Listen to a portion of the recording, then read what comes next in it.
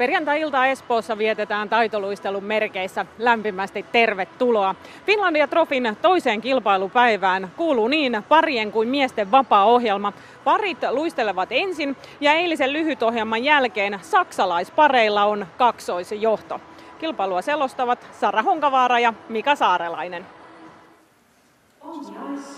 Kolmantena pariluistelun lyhytohjelman jälkeen Finlandia Trofissa olivat ja ovat edelleen tietysti Brooke McIntosh ja Benjamin Mimar. He edustavat Kanadaa. Brooke on 17 ja Benjamin 21-vuotias. Todella lahjakas, linjakas pari, jolle nyt sattui pienesti niitä virheitä lyhytohjelmaan eilen, mutta tänään parempi päivä. Musiikkina ei enempää eikä vähempää Les Miserables.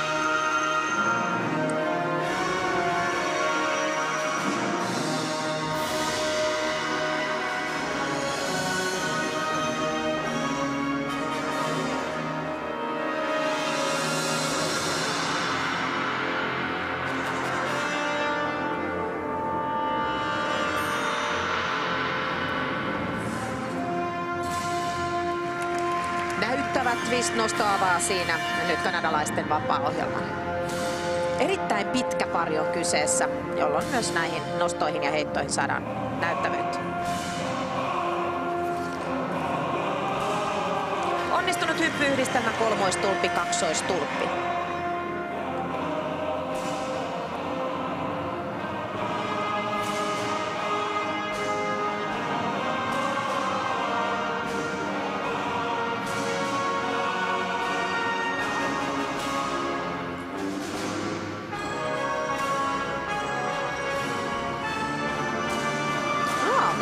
Toiset rinnakkain tehtävät soolohypyt kolmoissalkkovit onnistuvat.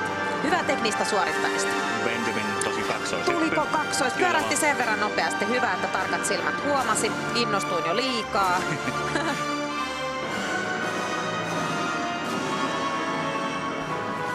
no mutta sen sijaan tässä mentiin jo mallikkaasti ensimmäisen nostoon.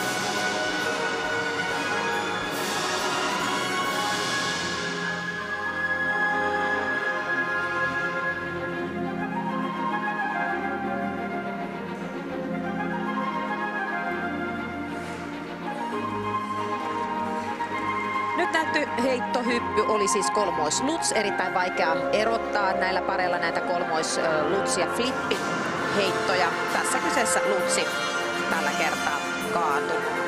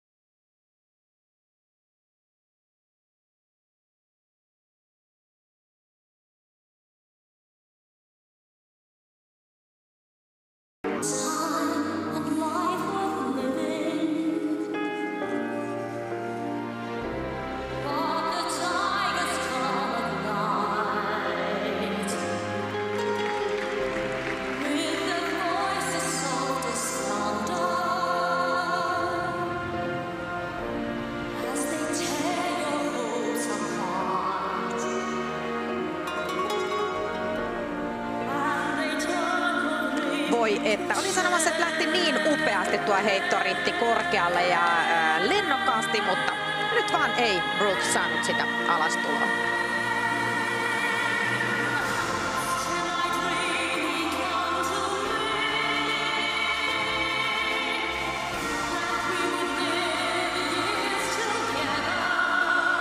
Taas vaikeutta noston sisällä. Nähtiin tässä Benjamin Mimarilta tuo sirklaus askel nostettaessa ja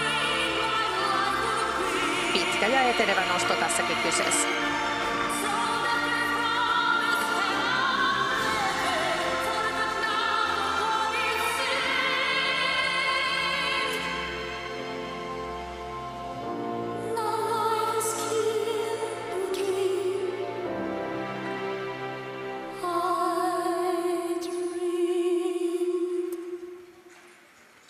Neljä minuuttia on pitkä ohjelman kesto, todella pitkä.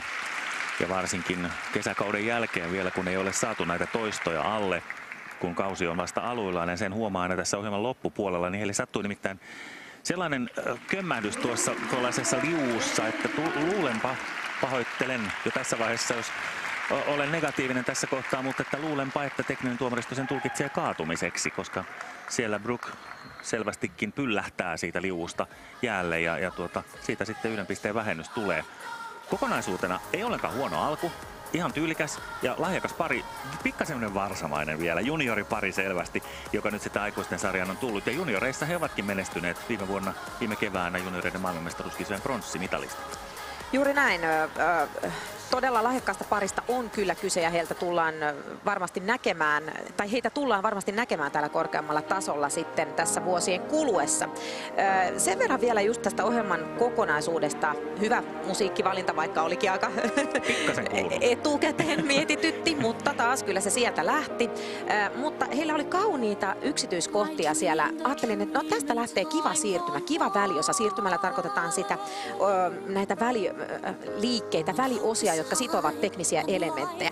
Mutta sitten se jäi aina siihen, siihen yhteen liikkeeseen. Sen jälkeen haettiin pitkää sirklausvauhtia. Toki pariluistelussa sitä vauhtia tarvitaan näihin elementteihin, jotta niistä selvitään. Ne on fyysisesti haastavia ja sinne tarvitaan sitä vauhtia. Mutta huippupareilla, kun katsoo ohjelmaa, se vauhdin ottokin on sisällytetty näihin väliosiin siirtymiin erilaisin askelin, erilaisin käännöksin.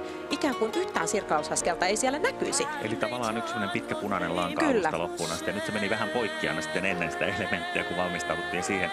Ja näissä elementeissä sattui nyt valitettavasti näitä virheitä. Ne ovat tosi korkeita nämä heitot esimerkiksi, mm. mutta sitten kun valitettavasti alastulo on epäonninen, niin siitä ei pisteitä hirvittävästi ropise.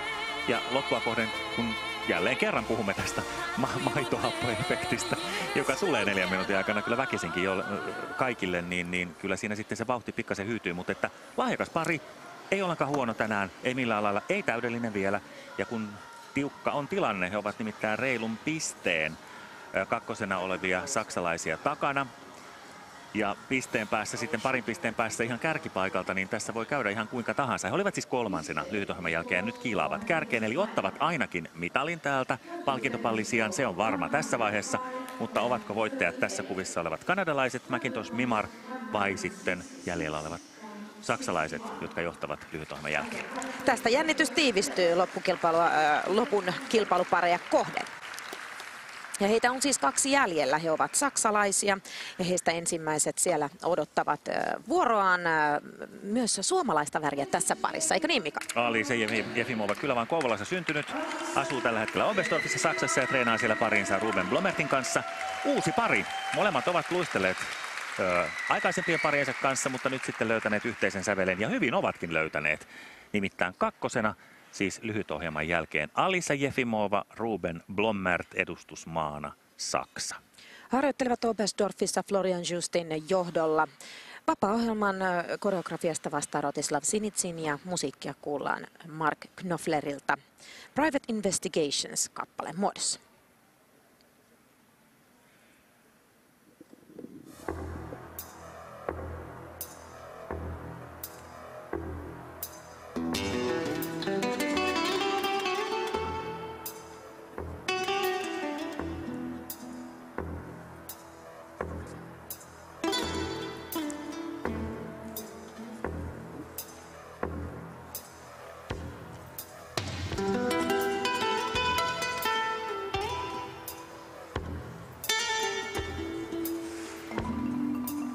Erinomainen hyvä rytmi tuohon kolmoistvistin lähtöön. Harmi, että alastulossa pieni tasapainon menetys.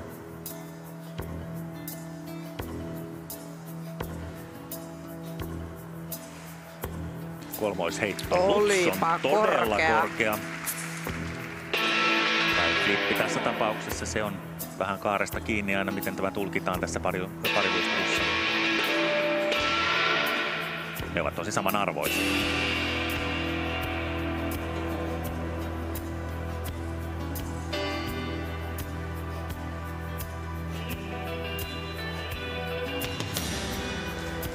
Kolmois Salkkovissa soolohypyt valitettavan epäonniset. Ja kun molemmille sattuu virheitä, niin siitä ei valitettavasti pisteitä valtaisesti jää, niin kuin tulospalvelu kertoo siellä punainen palkki. Tämä laatupiste on miinuksella ja vie puolet perusarvosta.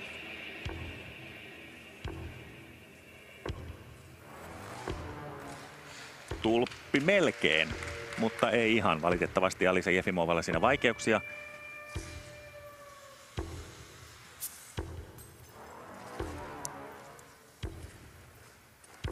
Ja nyt sitten kun kyseessä olisi pitänyt olla yhdistelmä, niin siksi tuo tulospalvelun rep eli repetition yksin, yksittäisen soolohypyn toisto, joka vie jonkin verran pisteistä myös pois tuon epäonnistuneen yhdistelmän puutteen vuoksi.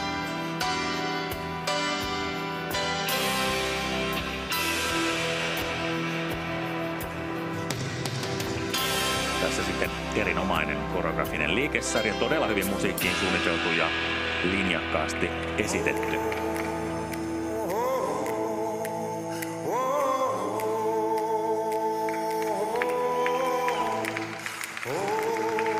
Todella mielenkiintoiset asentovariaatiot tässä nostossa. Se on aina mielenkiintoista ja mukavaa, että parit tekevät näihin nostoihin näitä omanlaisiaan variaatioita. Night and day, music in my head, and night and day, music in my head, night and day, the music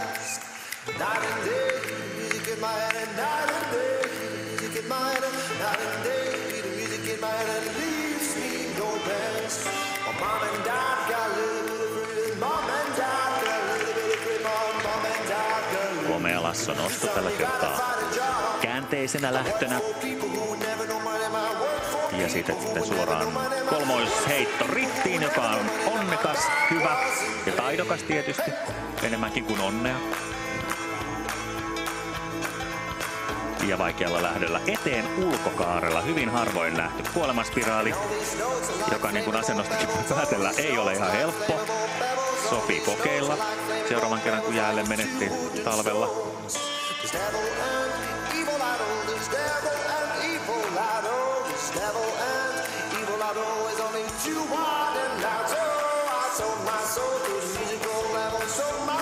Tässä yksi vaikeuttava tekijä nykysääntöjen mukaan tähän pari piruettiin. Pyöritetään vähintään kaksi kerrosta naista ilmassa tuolla piruetin sisällä vaikeassa asennossa.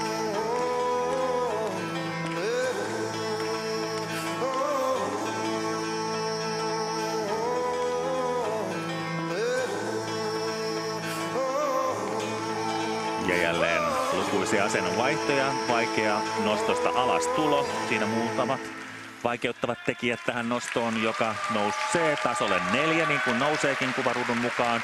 Kolmostason, ää, kolmosryhmän nosto ja se viimeinen numero neljä on aina sitten se vaikeustaso. Ää, onpas muuten oikeasti todella hyvä pari. Tänään vaan epäonninen, mutta, mutta tässä on nyt jotain aineesta minusta. Alisa on löytänyt nyt itselleen rinnalleen parin, joka on samankaltainen. Hänen liikekielensä on samanlainen. Ja jollain lailla he ovat jo nyt, vaikka ovatkin ensimmäistä kauttaan yhdessä, niin löytäneet sen yhteisen linjakkuuden, yhteisen liikekielen. Hienoa. Kyllä, koko tämän vapaa-ohjelman ajan kirjoittelin omaan paperin. Hyvä sitä, hyvä tätä plussaa tänne, plussa tähän. Ja viimeiseksi vielä pyöritin, että Alisa äh, Jefimova on nyt kyllä löytänyt lajinsa ja parinsa. Hän on todella osuva luistelija rakenteelta, ominaisuuksiltaan tähän lajiin. Hän on kuin luotu pariluistelun. Varsinkin noissa nostoissa huikea notkeus, huikea liikkuvuus, pyörii nopeasti eri asennosta toiseen, pystyy vaihtaa. Ja sen lisäksi Ruben Blomert on huippunostaja koska jotenkin nämä nostot aina niin kuin, kertoo siitä pariluistelijasta no, paljon. Se on aika olennainen se on se osa juttu, kyllä. Ja sen lisäksi kaikki nämä elementit, kuten tässä äh, tuo heittokolmois flip, niin kerta kaikkiaan todella korkea. Korkeita heittoja, twisti hyvä. Ainoastaan nyt tänään hiukan epäonnea näissä äh, soolohypyissä mm, tällä parilla, mutta tota, ne on helppo korjata. helppo sanoa tätä penkiltä, että ne on helppo korjata, mutta ne on kuitenkin helpommasta päästä tässä pariluistelussa. Nimittäin tässä juuri nähdään näitä vaikeita nostoja ja niiden asentoja ja nähdään kuinka helposti Alisa tuolla pyörii. Tässäkin oli todella mielenkiintoinen tämä asentovariaatio. Niitähän voi parit aivan mielin määrin tietyn lanalaisuuksiin asti itse varjoida. Ja sitten tämä yksi vaikeimmista, eteen ulos kaarella tehty kuolemanspiraali. En muista, koska olisin nähnyt näin hyvin sitä tehtynä. Se tehdään todella harvoin juuri siksi, että se on niin vaikea. vaikea. Ja sitten tuo asento on aika jollain lailla fysiologisesti, niin, fysiologisesti melkein mahdoton, mutta he onnistuvat siinäkin. Kyllä nyt on ilo katsoa suomalaissyntyisen Alise Jefimovan luistelua Ruben Blometin kanssa. Blometin, joka luisteli aikaisemmin Annika Hokken kanssa. Hän on seuraavassa parissa tulossa edellinen partneri, mutta tässä on myöskin, sanoisin, että Blommert löytänyt oivan, oivan partnerin itselleen. Siis yksi piste erottaa nyt sitten saksalaisia tässä kuvissa olevaa Jefimova Blomertia ja johdossa olevaa Hokke Kunkelia. Noin piste on eroa, eli siis kumpi tahansa voi nyt viedä voiton. Sanoisin, että tämä kaksikko menee ykköseksi. He olivat pisteen edellä nyt johdossa olevia kanadalaisia. Ja tuota, nyt sitten jännitetään, että, että kuinka paljon ö, ehkä mennään, ei nyt välttämättä ennätyspisteesi, katsotaan. 119-12 on heidän ennätyspisteensä vapaa-ohjelmasta. Ja kärkeen tarvitaan nyt sitten 167 pistettä ja sehän tulee kirkkaasti. Hienot pisteet. 10 pistettä ylitetään, eli ihan ehdottomasti ykköseksi tällä hetkellä. Alise Jefimova, Ruben Blommert. Se on varmaan jo tässä vaiheessa, että Finlandia Trofin vuoden 2022 pariluistelun voittajat tulevat Saksasta. Ovatko he tässä? Jefimova Blommert vai sitten seuraavaksi jälleen lipuvassa parissa Annika Hokke, Robert Kunkel. Ja tämä pari siis päättää tämän äh, Finlandia Trofin äh, pariluistelun vapaa-ohjelmakilpailun. He ovat siis saksalaisia, 22-vuotias Annika Hokke ja 23-vuotias Robert Kunkel. Berliinistä kotoisin olevat äh, pariluistelijat harjoittelevat Bergamossa Italiassa Andrei Hotarekin tiimin alla. Musiikkia Annakalta Without You. Kolmois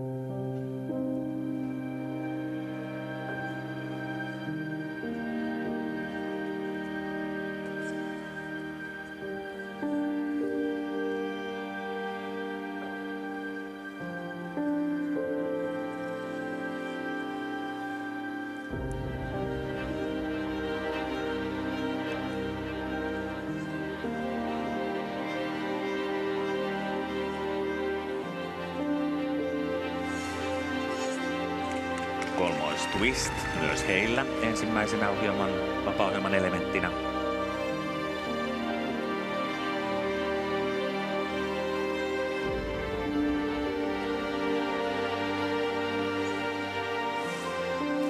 Kolmois Salkko soolohyppynä, mutta valitettavasti Annika päätyy jään pintaan ja näin miinuksia tulee laatupisteistä ja yksi pisteen vähennys kaatumisesta.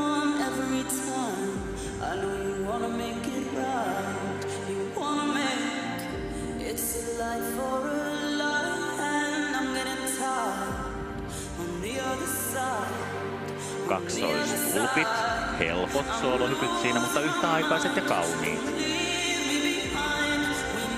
Siinä kun olisi jälleen pitänyt olla yhdistelmä, sen vuoksi tulospalvelu näyttää sanaa rep eli repetition.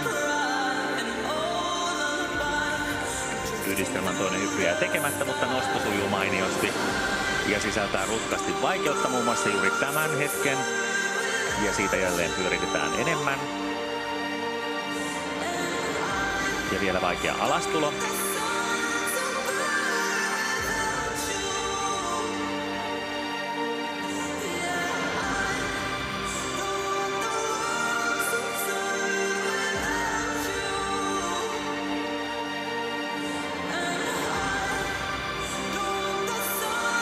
Keitto kolmois flip kauniille alastulo kaarelle.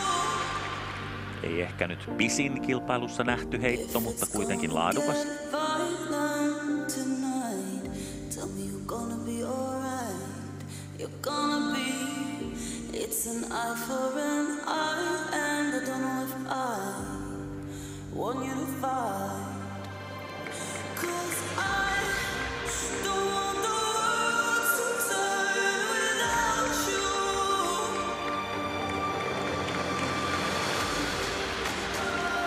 Axel tyyppinen lassonosto.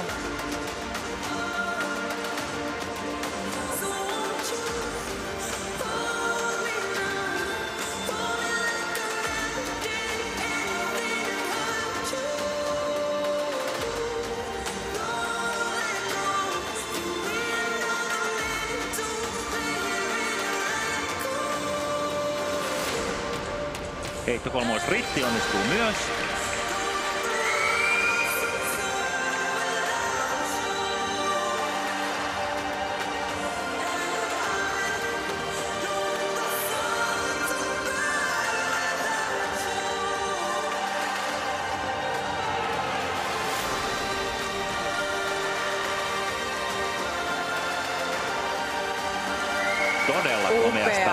Nosto.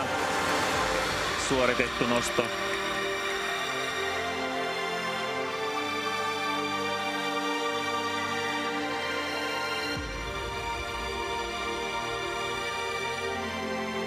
Ja laatua yllin kyllin myös tässä kuoleman spiraalissa eteen sisäkaarella suoritettuna.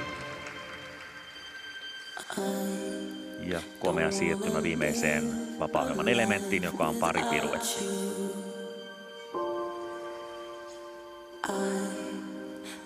Watch the world burn without you.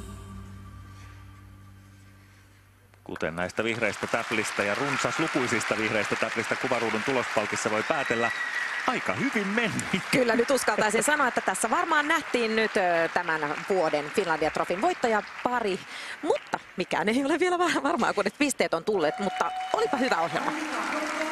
Oli. Ja kokonaisuus nimenomaan jollain lailla se vauhti, jolla he säilyttivät tämän, tämän ö, liuun koko neljän minuutin vapaa ajan oli minusta ihan ylivoimainen muihin verrattuna.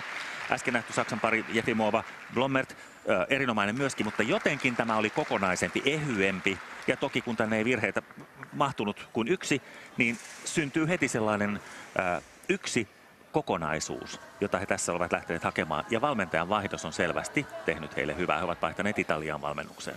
Aivan äh, si- sitä en vielä eilisen lyhytohjelman jälkeen uskaltanut itse sanoa, mutta nyt näin sen, mitä se valmentajan vaihdos on tehnyt. Se on tuonut heille vauhtia, se on tuonut heille itsevarmuutta, ehkä hiukan kanger, kangerelleen ka- viime kauden jälkeen.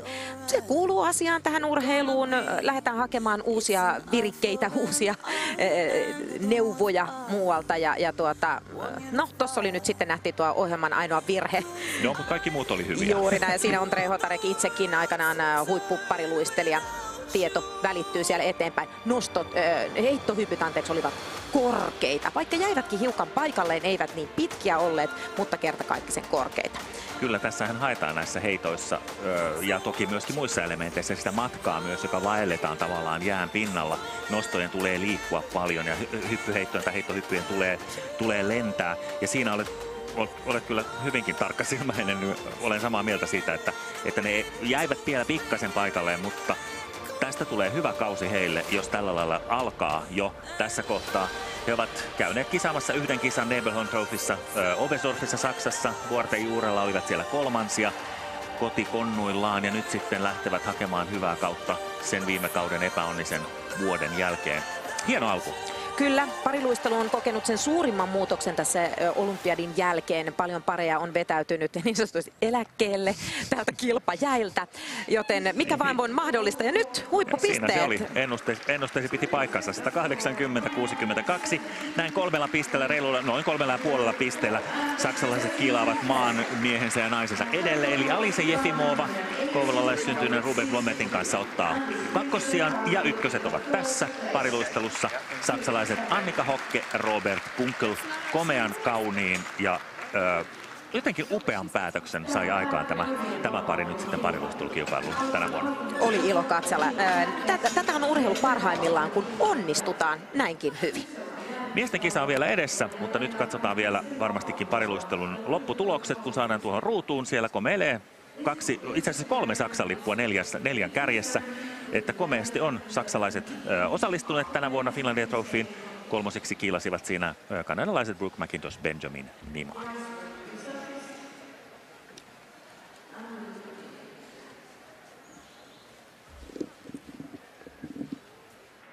Alisa ja Ruben, congratulations first of all to both of you.